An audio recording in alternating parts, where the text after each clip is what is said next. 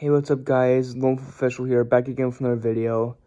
Um, I know it's not really time yet, but I just wanted to say that, you know, this this month was this Pride month was really really fun, and uh, I'm gonna miss it. Um, I guess we're just gonna wait until next year until it comes back, but um, it was a really great uh, it was a really great month for me to uh, enjoy these uh, prideful month prideful months or these prideful days with you guys or whoever's watching, I don't care. I don't. I know I say guys a lot, but yo, I'm I'm all for equality. I don't. I don't have any.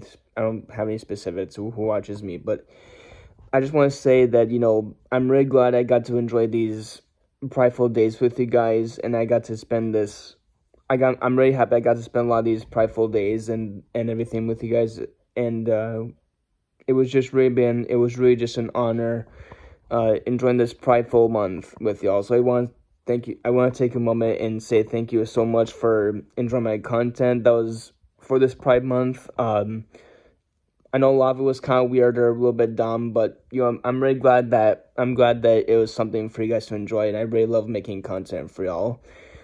So, um, just want to make this long story short. Um, this month was really fun, and uh, I really can't wait until next year time comes back. So without further ado, this is Wolf signing off. And without further ado, I'll see you guys all until next time. Until so until next time, guys. See you guys on the interwebs. Peace.